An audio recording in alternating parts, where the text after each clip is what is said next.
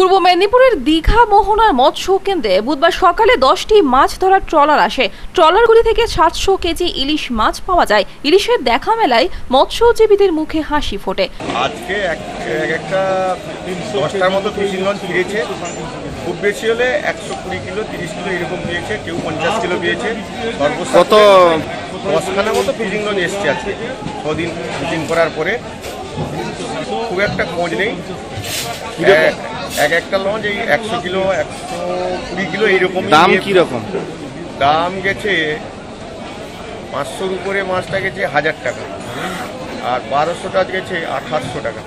এইরকম মাছের রেট মানে সাধারণ মানুষের নাগালের বাইরে একেবারে। এদিন ইলিশের দাম ছিল পাঁচশো থেকে সাতশো গ্রামের ওজনের কেজি প্রতি ছশো থেকে আটশো টাকা। এক কেজি ওজনের দাম ছিল এক হাজার থেকে বারোশো টাকা। দেড় কেজি ওজনের দাম ছিল দেড় হাজার টাকা।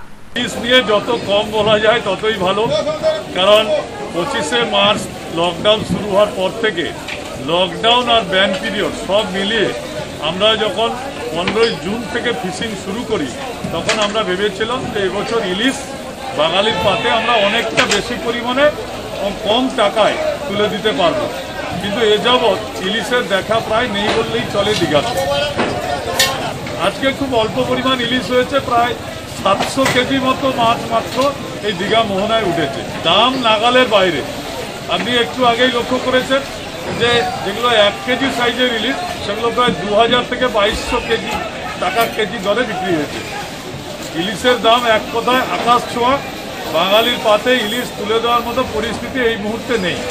তবু আমরা মৎস্যজীবী, আশায় বুক বাঁধি আমরা মনে করছি আগামী দিনে যদি অনুকূল আবহাওয়া থাকে, তাহলে হয়তো ইলিশ আগামী দিনে হতে পারে। পূর্ব মেদিনীপুর থেকে সুদীপ্ত আগুয়ানের রিপোর্ট আনন্দ বার্তা